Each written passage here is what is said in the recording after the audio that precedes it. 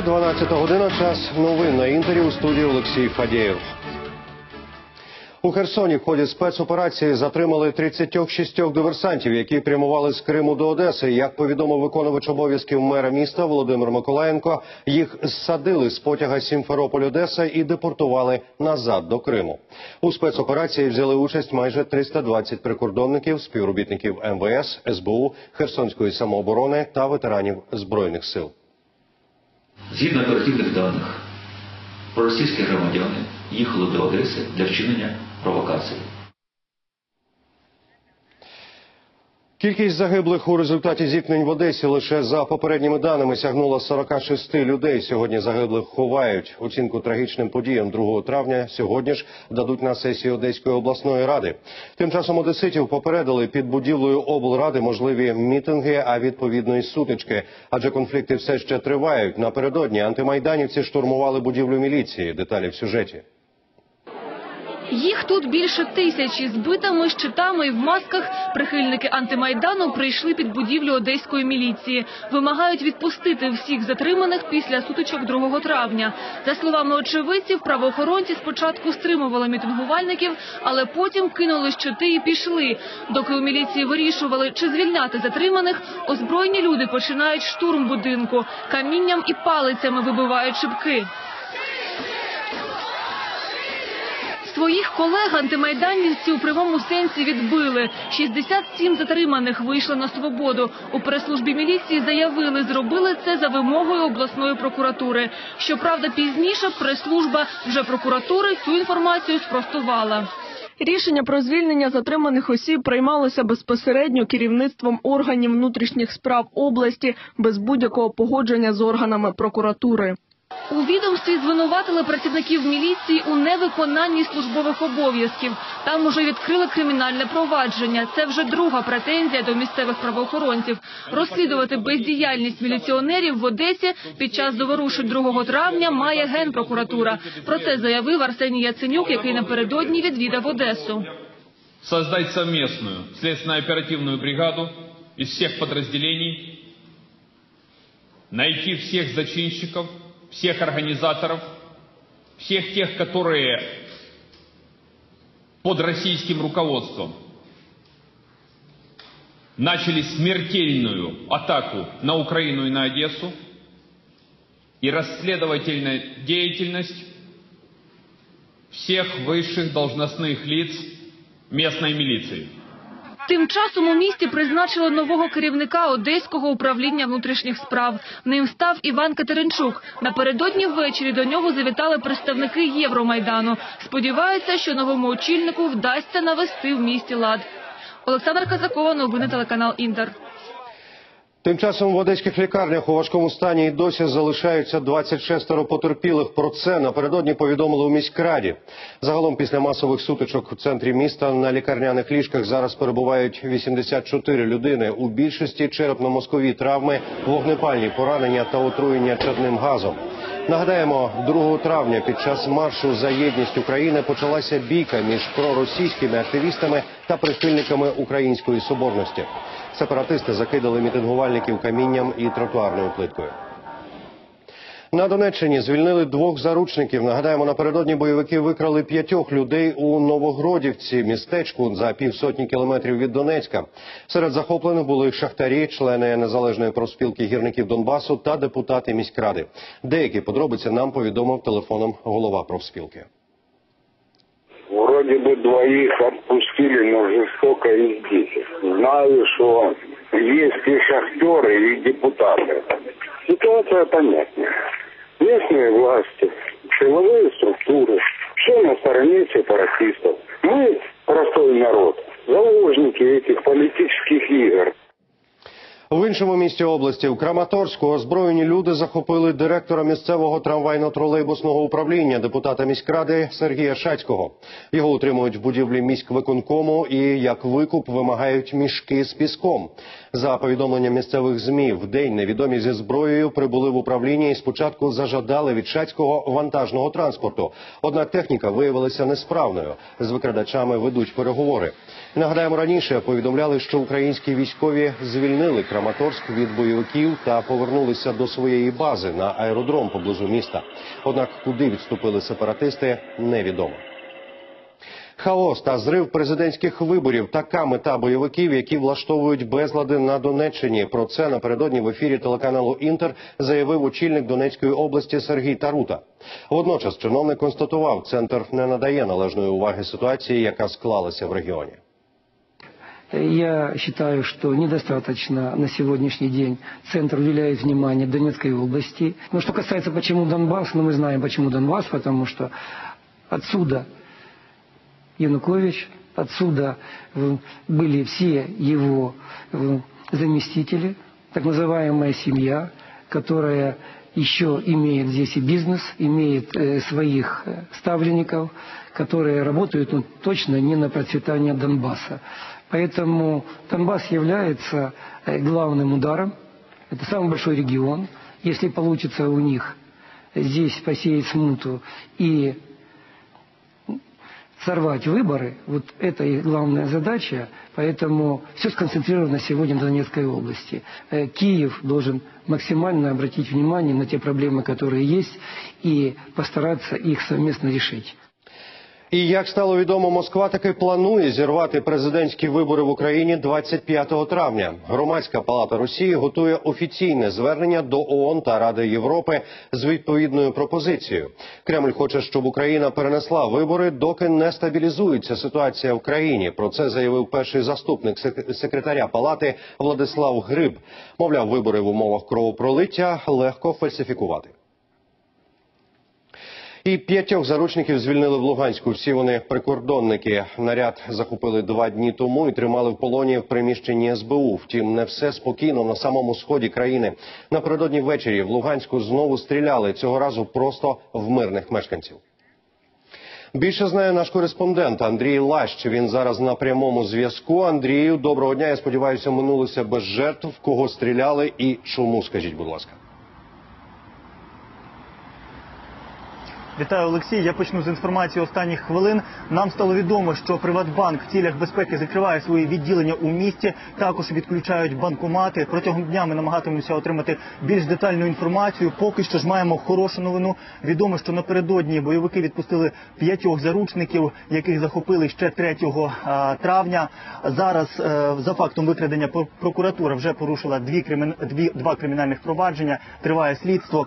Тим часом у Луганську відбуваються поодинокі випадки стрілянини. Відомо, що вчора ввечері у рибалок, які були на річці Лугань, стріляли троє невідомих. Вони були у балаклавах. Одну одну людину поранено, інший зник. з них зараз його шукають. Е, Маємо проблеми тут із водопостачанням. Вчора люди занепокоїлися, що у кранах була відсутня і гаряча, і холодна вода. Її включили лише ввечері. Місцева влада подібні подібну ситуацію з подіями, які відбуваються у місті, не пов'язує. Тим не менше у такому наказному порядку заборонили відключати воду до 11 травня. Знову ж таки, на 11 травня у Дніпропетровську чекають на представників східних областей, зокрема із Луганська. Там планують з'їзд, на якому вирішуватимуть питання створення об'єднаної ради об'єднаного штабу самооборони. Перепрошую, а також комітетів із захисту волевиявлення громадян. Ми продовжуємо слідкувати за подіями у місті. Студія. Дякую, Андрію. Будь ласка, будьте обережні. Я нагадаю, що на прямому зв'язку з Луганська був наш кореспондент Андрій Лащ. На Донеччині питання щодо територіальної цілісності України винесли на референдум. Ані прізвища, ані паспортів перехожих не питали. Просто пропонували поставити галочку в анкеті і відповісти на два актуальні питання. Перехожі реагували по-різному. Хтось перелякано сіпався в бік, хтось ставився до можливості поділитися власною думкою спокійно і з розумінням. Організатори опитування вважають, що такі дослідження необхідні, аби отримати об'єктивну картину реальних настроїв у регіоні та по всій Україні. Протягом дня організатори роздали 100 тисяч анкет. Результати опитування пообіцяли оголосити сьогодні по обіді у Києві. Э, Спрашивают у местных жителей всего лишь два вопроса. Поддерживают ли они территориальную целостность Украины, хотят, чтобы, и э, хотят ли, чтобы Донбасс оставался в составе Украины. И э, второй вопрос, это хотят ли, чтобы территориальные громады, общины имели больше прав. Ну, на нас волнует вопрос безопасности. И эм, сегодня э, эти наши эм, э, пункты для голосования имеют больше форму мобильных групп, да, то есть э, мы не задерживаемся больше часа-двух на одном месте. Социальные институты в Киеве, они, в общем-то, проводят опросы по телефонам, по мобильной связи. То почему бы у нас нет? Верховна Рада у вівторок заслухає керівників силових структур. Ті мають відзвітувати перед політиками про стан обороноздатності України, а також про заходи, спрямовані на ліквідацію диверсійних груп і терористичних організацій. Засідання відбуватиметься за зачиненими дверима. В лісах на Чернігівщині тим часом вже понад місяць несуть бойову службу військовослужбовці однієї з тактичних груп української армії. У таборі здебільшого мобілізовані резервісти. Їхні командири досвідчені офіцери. Солдати перебувають у повному бойовому спорядженні, як кажуть військові, готовність номер один. Будні вояків бачили кореспонденти інтера. Потрапити до військового табору однієї з тактичних груп, яка дислокується в лісах Чернігівщини, складно і навіть ризиковано. Я хочу попередити всіх цивільних осіб, які хочуть які хочуть потрапити на територію бази Тарабу незаконним шляхом. У нас є наказ на відкриття вогню. На блокпосту озброєні бійці у новому спорядженні. Це контрактники. Вони забезпечують охорону військового табору на центральному напрямку. Поки що тренуються. В основном здесь, в базовом таборе, мы занимаемся э, тренованием, дием по тревоге, то есть строим колонну, выезжаем, мы проверяем боеготовность особого склада и техники, соответственно. И после обеда в основном это идет обслуживание техники, проверка наявности боеприпасов, До російського кордону звідси рукою подати. Зустріти ворога тут готові. Зараз солдати живуть звичайним життям військового табору. Працює польова кухня. Реализовано питание трехразовое. У- Завтрак, обед, ужин. Продуктов хватает. Помогают местные. м, Большое им человеческое спасибо. Также привозят с продовольственных баз Министерства обороны. працюємо, як кажуть, в повному, в повному режимі. Приємно, коли що люди кажуть дякую за нашу роботу, за нашу за наші старання. Цей польовий табір є базовим, обслуговує чималу кількість військовослужбовців із блокпостів і бойових позицій. Тож тут є усе необхідне. Облаштовані навіть перукарня і польова лазня. В котлі нагрівається вода до 3,5 атмосфер. І за счет пара нагріває холодну воду, яка зде- йде з машини, втягується, проходить нагрів і йде на душ. Весь особовий склад помитий і чистий. Поміж тренуваннями солдати допомагають місцевим мешканцям. На даний момент, поки наші танки у повній бойовій готовності не застріють ніде, так ми допомагаємо місному населенню. От, наприклад, учора підгор- підгортали сміттєзвалище. Військовослужбовці переконують, готові працювати скільки потрібно в будь-яких бойових ситуаціях та умовах. І зізнаються, природа та чисте лісове повітря вже трохи набридли. Оксана Шнайдер, Ірина Ващенко, Олег Федорець. Новини телеканал Інтер. В американському сенаті вистачить голосів, щоб законодавчо закріпити військову допомогу Україні. Про це заявив республіканець Джон Маккейн в ефірі телеканалу Інтер. Такий законопроект запропонували минулого тижня одразу два десятки авторитетних американських сенаторів. Допомога оцінюється в 100 мільйонів доларів. Мова може йти навіть про системи протитанкової і протиповітряної оборони.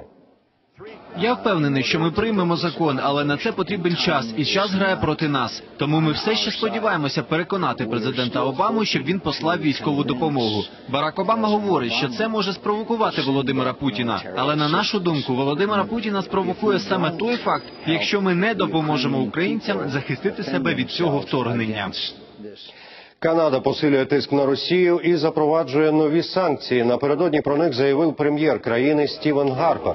За його словами, санкції поширюються ще на 16 російських компаній. Серед них Акваніка, група Волга, Інвесткапітал Банк, Собінбанк, компанія Стройтрансгаз Холдинг та інші підприємства.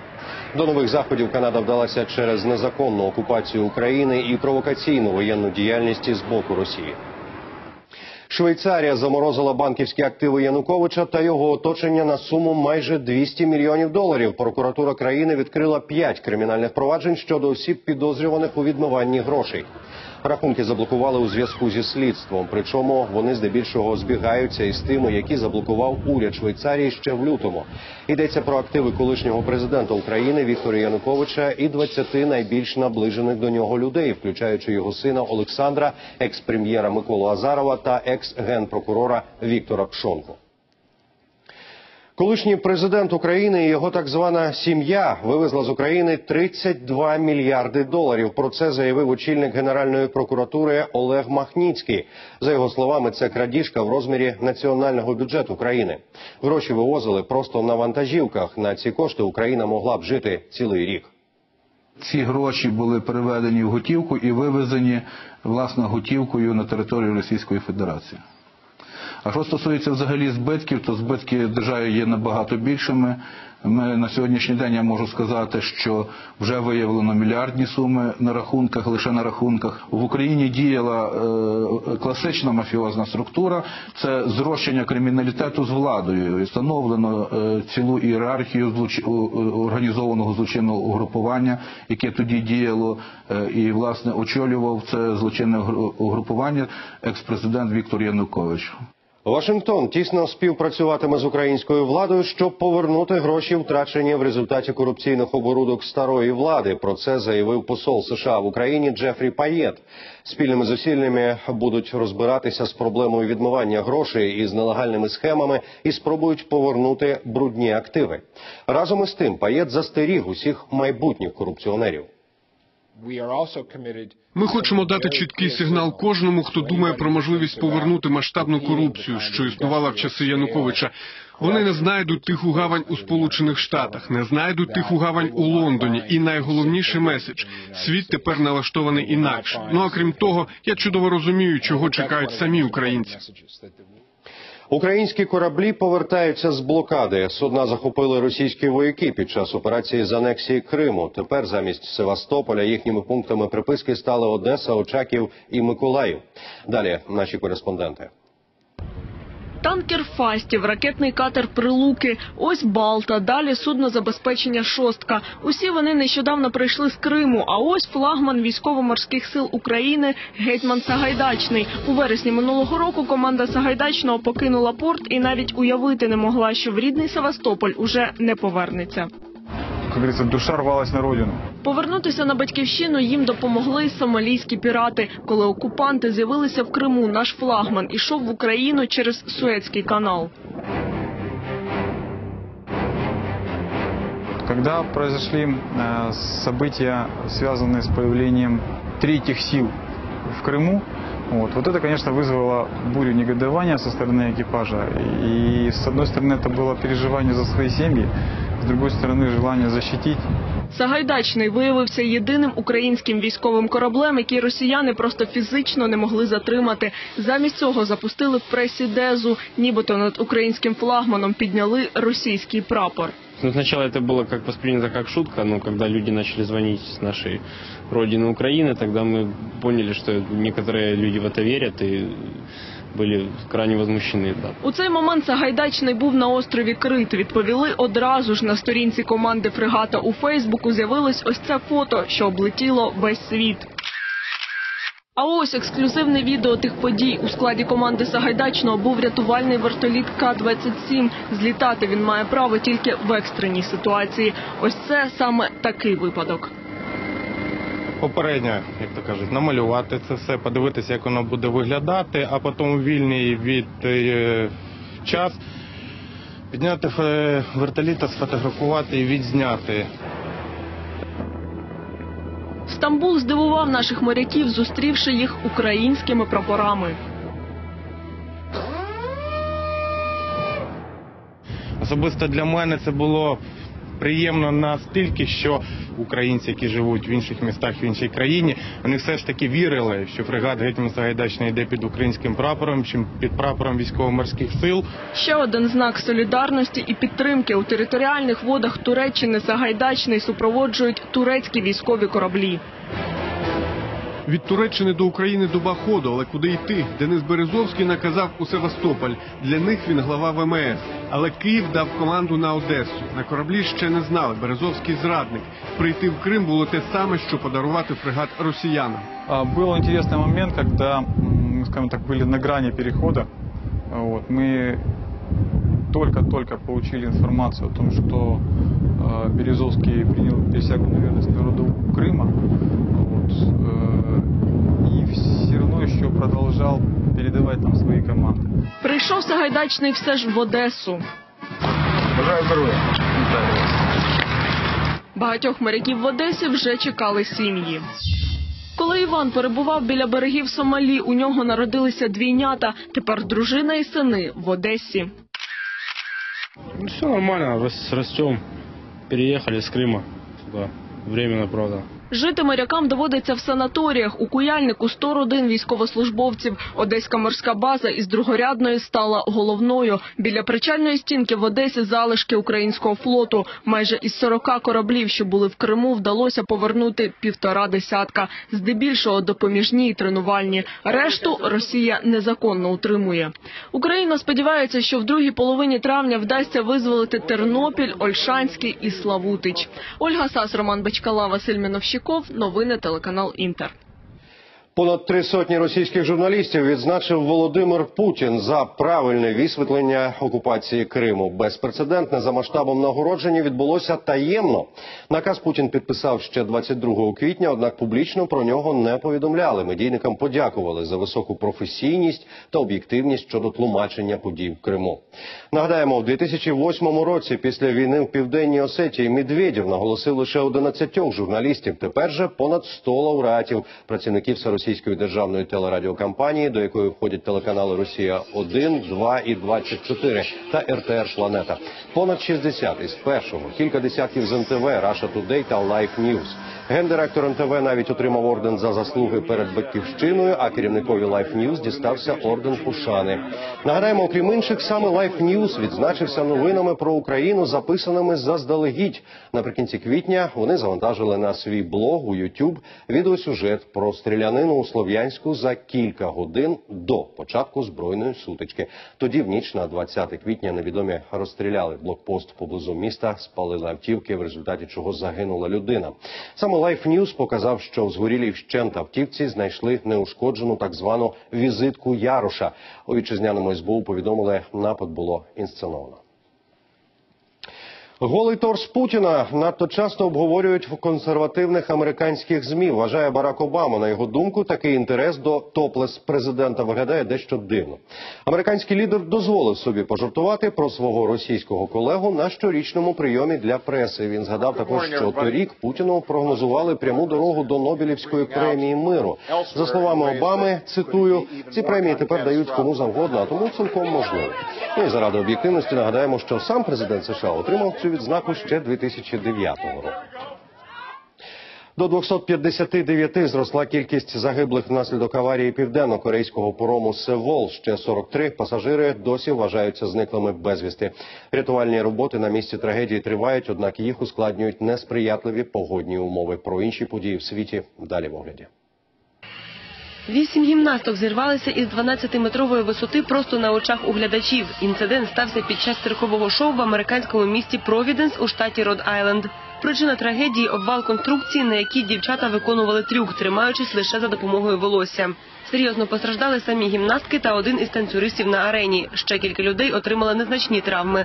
Одна людина перебуває у важкому стані, проте загрози для життя немає. Лікарі кажуть, що їхньому життю нічого не загрожує. Виставу відразу ж припинили і усіх постраждалих доставили до лікарні. Чому конструкція обвалилася, ми поки що не знаємо. Однак розслідування вже розпочато. Головне, щоб це більше не повторилося. Троє загиблих та близько 60 людей постраждали у подвійному теракті в Кенії. У повітря злетіли два пасажирські автобуси неподалік центру Найробі. Вибухові пристрої кинули невідомі. За інформацією поліції, один вибух прогримів, коли автобус проїжджав поблизу готелю, другий біля пішохідного переходу. Шестеро у критичному стані. Наразі інцидент розслідують. Жодне з терористичних угрупувань поки що не взяло на себе відповідальності за теракт. У Лондоні сьогодні зупиниться метро. Планують страйкувати. Працівників метрополітену не влаштовують умови праці, зарплатня, а також обурює скорочення штату. Столична влада вирішила модернізувати підземку та заощадити на співробітниках понад 60 мільйонів євро на рік. Страйк має тривати три доби. Попередній був минулого тижня. Тоді метро зупинилось на чотири доби. У Китаї можуть зникнути гірські шамани, а все через масову міграцію до міст. За віруваннями вони можуть спілкуватися із духами, лікувати хворих та передбачати майбутнє. Зараз майстрів духу в країні тисячі. Однак в останні роки Китай переживає наймасовішу за всю історію міграції населення. За 15 років до мегаполісів переїхало більше 300 мільйонів китайців. Спіритизм у міських умовах для шаманів неможливий. Та із розвитком медицини в країні по допомогу до них звертаються дедалі рідше. Якщо з вами має статися щось погане, а ваша удача закінчується, то я можу її змінити. Люди також звертаються до мене, якщо хворіють. 64 роки на троні. У Таїланді відзначають річницю коронації короля Пхуміпона Адульядета. Він зійшов на трон у 46-му році після смерті свого старшого брата. А 5 травня 1950 року у віці 23 був офіційно коронований. На честь цієї події на вулиці курортного міста Хуахін вийшли тисячі людей із національними прапорами. У резиденції королівської родини з цього приводу відбулася особлива буддийська церемонія. 6 травня в Данії стартує конкурс Євробачення. Нашу країну на ньому представляє Марія Яремчук, дочка легенди української естради Назарія Яремчука. Відбір на ці пісенні перегони завжди супроводжується чутками та скандалами. Але чи справедливим є вибір цього року? Які випробування довелося подолати молодій співачці, щоб перемогти в національному відборі? І чи може Україна претендувати на високе місце в Копенгагені? Сьогодні в студії стосується кожного. Зберуться учасники цьогорічного відбору, члени журі, артисти, які виступали на сценах попередніх конкурсів Євробачення. Дивіться ток-шоу стосується кожного о 18.10 на телеканалі Інтер. І ви маєте унікальний досвід, яким можете поділитися з охочими або опинилися в тяжкій ситуації і потребуєте поради. Якщо ви готові винести вашу радість або біду на розсуд найширшої в Україні телевізійної аудиторії, скористайтеся гарячою кнопкою на нашому сайті подробності.ua та станьте героєм ток-шоу стосується кожного програми, яка змінює життя. І знову до України 6 тисяч філіжанок кави, звареної в одній велетенській Турції та найбільша арт-галерея в світі. Такими рекордами відкрили туристичний сезон у Кам'янці-Подільському. Головна площа міста на один день перетворилася на величезну кав'ярню та вернісаж просто неба. Оці кафемолочки домашні, у кожній сім'ї стояли, люди собі мололи кави на свою порцію і користувалися. Ця кав- кавомолка вже більш промислова, вона використовувалася в кав'ярнях. Кам'янчанин Олег Ващинський знає про каву все і має цілу колекцію турок. Саме йому спала на думку ідея приготувати ароматний напій у величезній турці. Майже півтораметрову джезву місцеві ковалі майстрували три місяці. Ще кілька днів готувалися. Місто майже три дні мололо всі кав'ярні, всю каву мололи, щоб напоїти сьогодні всіх людей цією кавою. От, Ну, виходить у нас на 330 літрів, десь 6 тисяч порцій кави. Доки варилась кава, влаштували майстер-класи з її приготування. До міста приїхали кавовари з Туреччини, адже саме звідти більше ніж три століття тому каву завезли до Кам'янця-Подільського. Весь процесс готовим 5-7 минут. ВСЛ Атли розкриває секрети запаштої кави, добре обсмажені кавові зерна та холодна вода, яка не містить хлору. Коли кава закипить, треба обов'язково зібрати пінку в горнятко, інакше кава гірчитиме. Потім ще двічі довести напій до кипіння і тоненькою цівочкою залити ним уже зібрану пінку Найбільше поціновувачів кави біля велетенської турки. Не менша черга й поблизу 100-кілограмового торта. Мы переселенцы из Севастополя, и мы вот нас так замечательно приняли в этом городе. Это совершенно потрясающее впечатление. Такой кавы я из такой турки не пила ни разу. З імпровізованої кав'ярні на вернісаж. Чотири тисячі дитячих малюнків розмістили від замкового до новопланівського моста, об'єднавши в такий спосіб західну частину міста зі східною. Таким чином наймолодші кам'янчани висловили бажання жити в єдиній державі. Альона Завора, Ольга Сергієва, Олександр Шурін, телеканал Інтер. І насамкінець невтішна новина для тих, кому вже припало до смаку тепла погода, тобто для всіх нас. Найближчий тиждень в Україні очікується похолодання, аж до заморозків, обіцяють синоптики. Сьогодні майже в усіх регіонах пройдуть дощі, місцями з грозами. В день температура повітря від 10 до 20 градусів тепла. Найхолодніше буде на півночі країни, плюс 13. Найтепліше на сході до плюс 21. Місцями очікують сильний вітер, пориви якого у західній та північній областях сягатимуть 24 метрів за секунду. У столиці сьогодні дощитиме в день від 11 до 13 градусів тепла вночі до плюс 8.